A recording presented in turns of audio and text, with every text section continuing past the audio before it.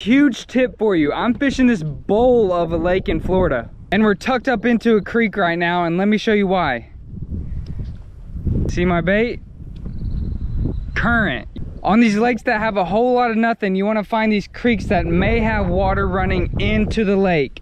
A lot of bait fish have been stacking up in here and we've been tearing the bass up.